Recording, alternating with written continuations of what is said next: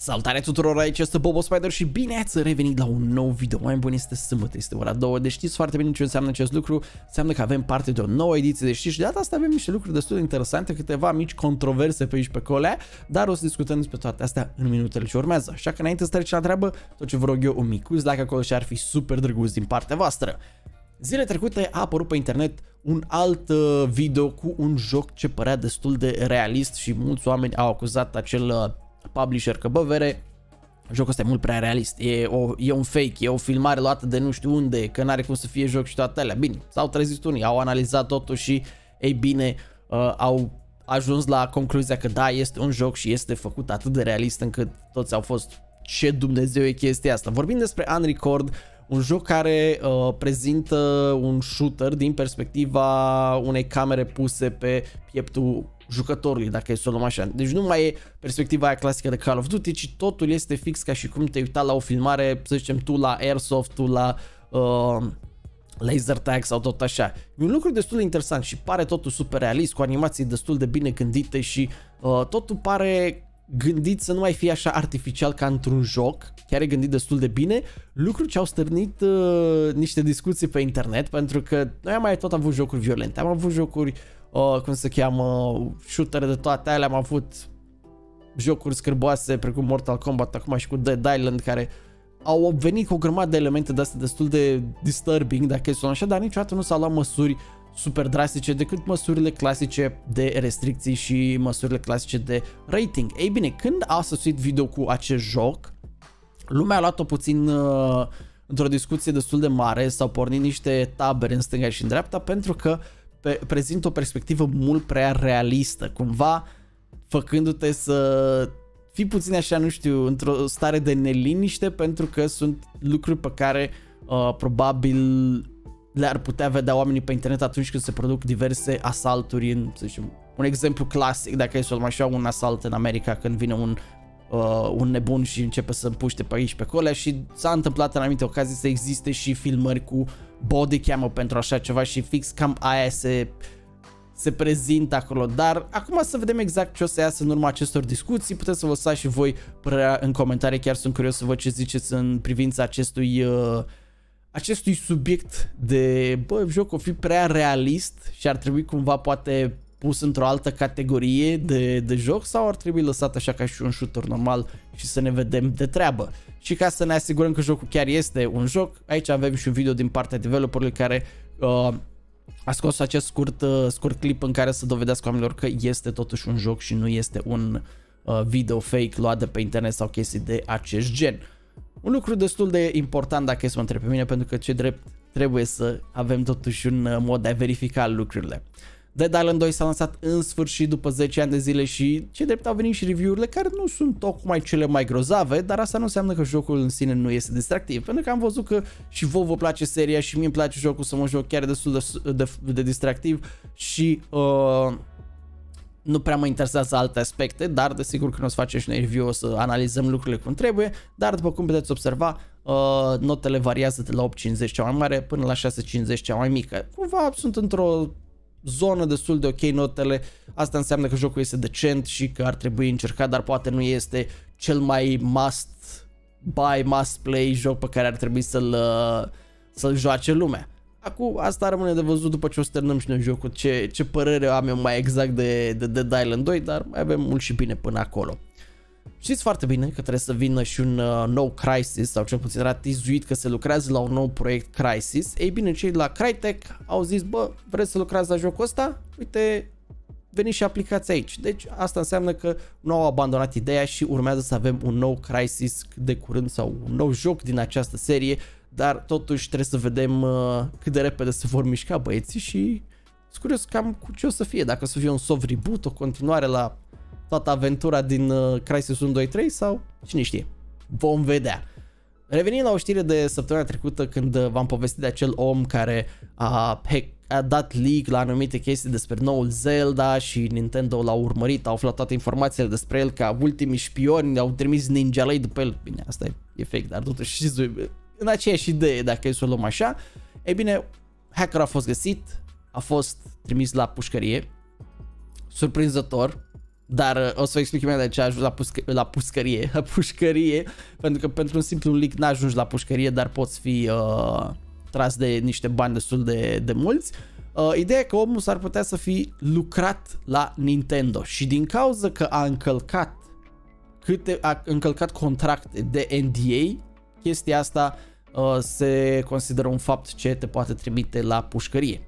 Pentru o, cum se cheamă, pentru o uh, perioadă destul de scurtă, dacă e să o luăm așa, nu extrem de mult, dar ești trimis acolo pentru că ai încălcat și ai făcut câteva mici ilegalități pe aici pe colea. Asta odată și aparent omul fiind angajat în cadrul Nintendo, în țara unde era el, salariul său va fi micșorat cu 20-30% pentru restul vieții sale. Adică, indiferent dacă va primi vreo mărire, 23% din, uh, din salariul său se vor duce automat la Nintendo pentru că Nintendo nu se joacă cu leakerii. Deci, pe scurt, băiatul nostru he got fucked. Adică dacă să luăm așa, și-a luat-o super grav doar pentru că a vrut el să pară șmecher pe Reddit și a zis, hei, uite, am poze cu nou Zelda, distracți, distracți-vă, doamne, distracți-vă, auzi, distracți-vă și toate la men. Nu merită, nu merită. Dacă era pur și simplu un leaker, doar poate primea o amendă și cam mai era sau era poate dat în judecată, dar pe treaba asta să mai fii și trimiși la pușcărie și toată viața să ți se ia bani din salariu, da, nu știu ce să zic, e, e puțin cam prea mult. Și revenim totuși la o altă știre tot de săptămâna trecută, v-am spus că Sega urmează să cumpere Rovio pentru o sumă exagerat de mare de bani, era undeva la un miliard de dolari inițial, acum aparent uh, suma oficială este de 775 de milioane de uh, dolari și de acum sunt curios să vedem ce Dumnezeu o să facă băieții noștri de la Sega cu IP-ul de Angry Birds sau ce integrări vor ei să facă. Vor aduce Angry Birds probabil în Yakuza sau cine știe. Diablo 4 este din ce în ce mai aproape, boys, luna iunie, nu mai are mult și o să ajungă și ea. Ei bine, jocul este gata, este finisat, este gone gold. Bine, nu e finisat, e terminat mai de bine spus că finisat urmează de acum. Este gone gold în sensul că poate fi jucat cap coadă fără nicio problemă și te poți bucura de toate feature-urile pe care acesta le are disponibile. Dar pentru a fi sigur, cei de la Blizzard au zis, ok, hai să mai facem un beta pe 12-14 mai, unde toată lumea are voie să intre și nenorociți serverele alea, încât să știm și noi ce servere să cumpărăm sau să facem schimbări până la lansarea acestui joc. E un lucru destul de bun, pentru că aici vom vedea și câteva din schimbările pe care le-au făcut conform feedback-ului pe care noi l-am dat în edițiile trecute de, de beta și sincer că o să intru și eu să văd așa puțin care este treaba, dar nu vreau să mă joc prea mult pentru că deja am făcut intro-ul de la Diablo 4 de atâtea ori încât nu prea o să mă mai distrez atât de tare atunci când o să lansez de jocul și vreau să mă păstrez fresh pentru, uh, pentru acea perioadă. Tocmai am avut Hogwarts Legacy anul ăsta și deja încep să mai curgă alte jocuri Harry Potter pentru că Hogwarts Legacy a avut un feature pe care mulți l-au dorit și nu a fost acolo și anume vorbim despre Quidditch. Ei bine, cei de la Unbroken Studios au anunțat că au un joc Harry Potter numit Quidditch Champions. Oh, sunt tare curios acum să vedem care este treaba. Mă gândesc că o să fie un joc competitiv, așa cum probabil cred că scrie și aici competitiv, uh, de Quidditch, unde uh, va fi totul PvP, deci o să fie destul de interesant. Nu cred că o să fie ceva single player prin jocul ăsta, deci o să vedem ce o să iasă. Sincer, nu știu ce au făcut băieții ăștia în trecut de la Unbroken, dar uh, nu îmi pun atât de multe speranțe, dar nici nu pot să zic că uh, n-are niciun sens să, să nu fiu interesat de, de el, așa că Vom vedea și să sperăm că o să iasă ceva destul de interesant. Dar totuși a venit știrea asta așa super, super de nicăieri, să știți. Dacă sunteți fan de jocuri de mobil, ei bine, Monster Hunter este acum anunțat să sosească anul acesta în septembrie și pe mobile. Împreună cu cei de la Niantic, Capcom a anunțat că vor avea uh, un close beta prin aprilie pentru Monster Hunter de mobil și apoi la la finalul acestui an să îl lanseze. Aparent lumea este deja puțin uh, dezamăgită că partenerul este Niantic, dar hey, it is what it is.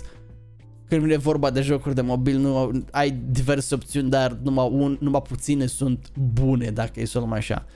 O altă discuție majoră ce a pornit aceast- în această săptămână este dimensiunea lui Star Wars Jedi Survivor. Ați auzit bine, este unul dintre cele mai mari jocuri ca și dimensiune pe hard, dacă e să o luăm așa, pentru că are undeva la 140 și ceva de giga. Ați auzit bine, nici Red Dead n-a avut atâta, De fapt, cred că a avut Red Dead undeva pe la 100-120, nu mai țin minte exact, dar bine, nu se întrece cu Warzone care avea 200 și ceva de giga, dacă sta bine să mă gândesc așa, dar uh,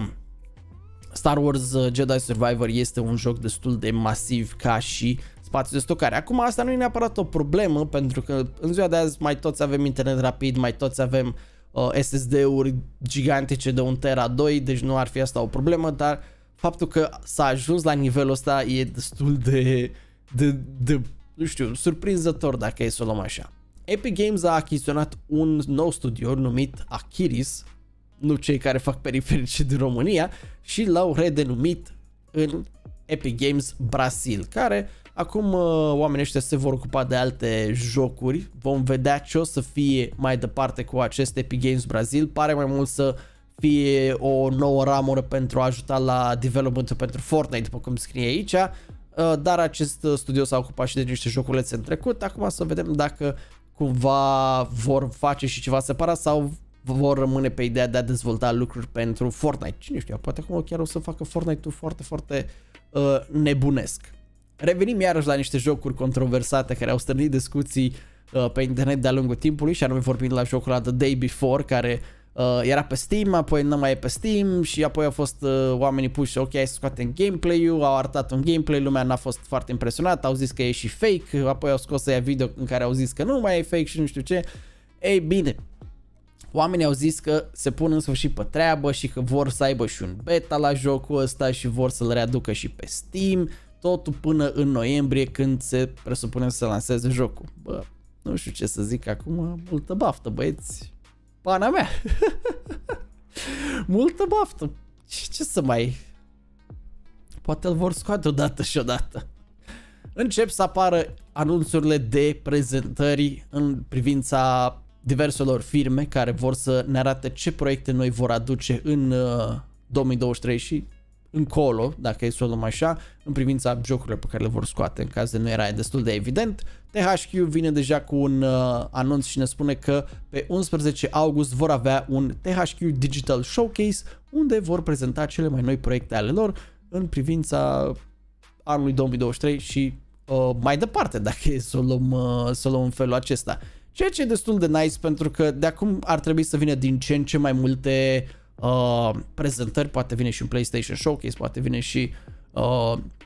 vine și cu un alt uh, Nintendo Direct și tot așa, adică încep să vină încetul cu încetul toate uh, toate momentele astea de prezentări, dacă e să luăm felul acesta. Tot săptămâna trecută v-am prezentat un nou joc de la EA și anume Immortals of Aveum. Ei bine, avem câteva imagini noi uh, oficiale de data asta cu gameplay-ul pentru acest joc care par destul de mișto, e destul de grafic, dacă e să mă întrebați că grafica e destul de faină, doar că gameplay-ul, cel puțin din ce spun foarte mulți oameni care au urmărit video ăsta și ce de și eu sunt cam de acord pe treaba asta, pare destul de rigid. Nu pare cine știe ce chestie senzațională, dar totuși e ceva nou, e ceva ce nu prea m-am mai jucat până acum, deci eu zic că ar merge, uh, ar merge totuși și încerca, nu, nu cred că e vreo problemă aici și chiar sunt tare curios atunci când se va lansa, cum se va prezenta jocul ăsta, dar nu asta e ceea ce a stârnit iarăși discuții în privința jocului, ci faptul că acest joc are niște cerințe, bă băiatule, insane de mari, pentru că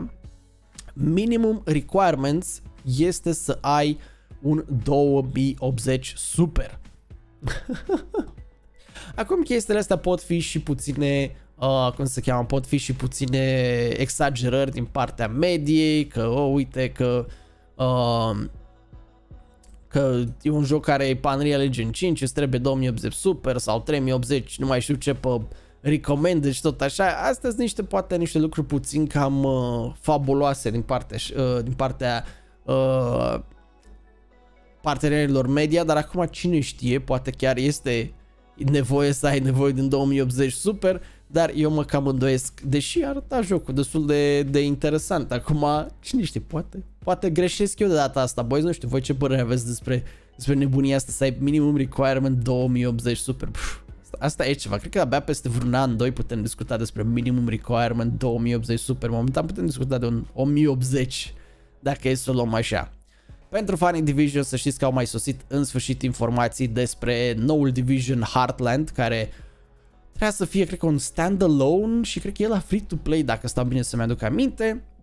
Division Heartland are close beta undeva pentru o perioadă destul de apropiată, nu scrie exact când, de aceea este de recomandat să mergeți să vă înregistrați pentru beta, pentru PC aparent uh, și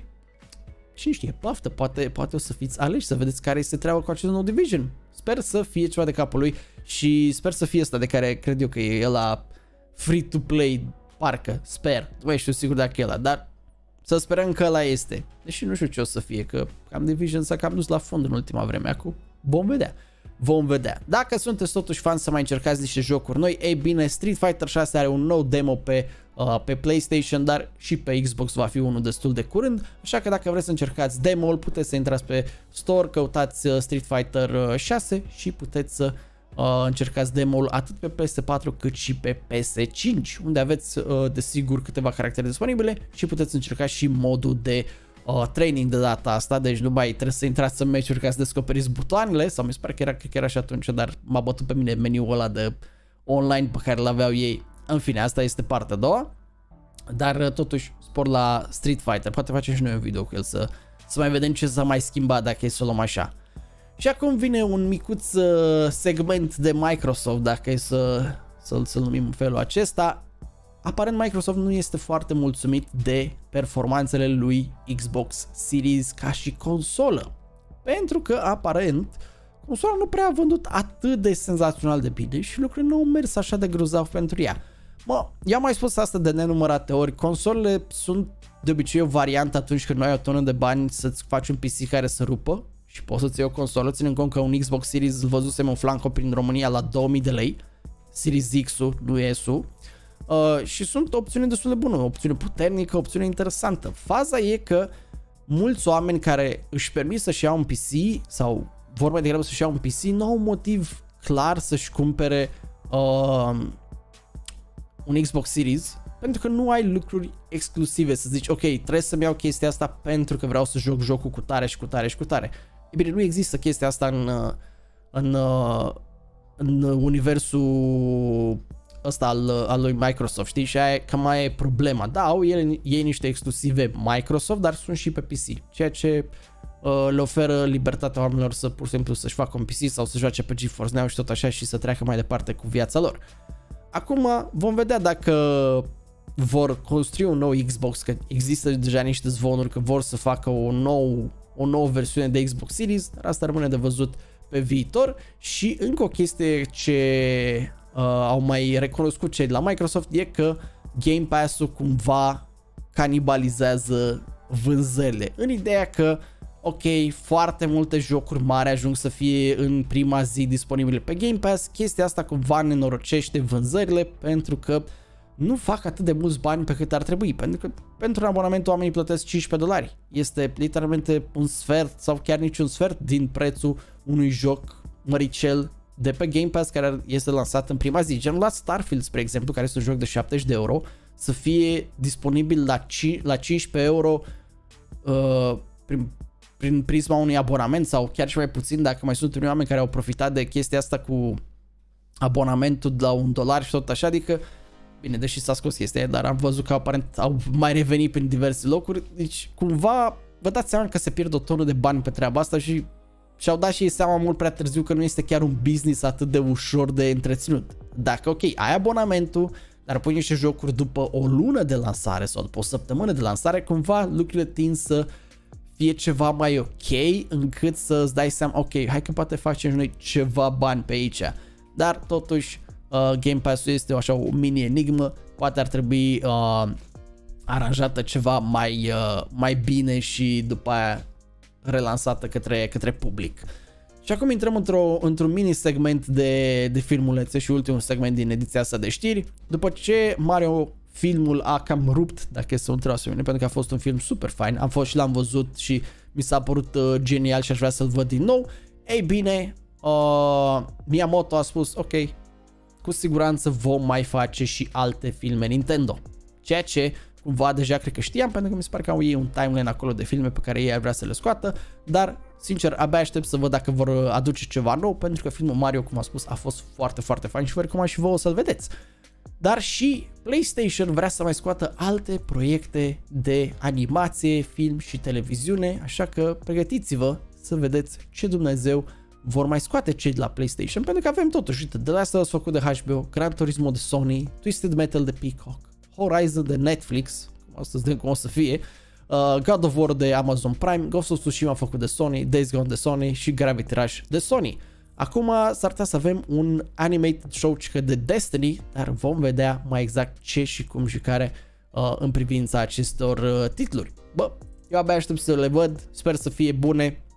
pentru că în ultima vreme genul ăsta de adaptări chiar au ieșit destul de bine și sper și pe viitor să se păstreze nivelul ăsta de calitate. Așa că, boys, cam asta ar fi această ediție de știri. Sper că v-a plăcut, sper că v-am adus câteva informații noi, sper să nu întârzie clipul ăsta pentru că uh, ce de tot filmez cu puțin timp înainte de ora 2 și uh, s-ar putea să întârzie vreo 2-3 minute, dar asta nu contează. Așa că nu uitați să dați like, subscribe și și coment și ne auzim data viitoare. Pa, pa!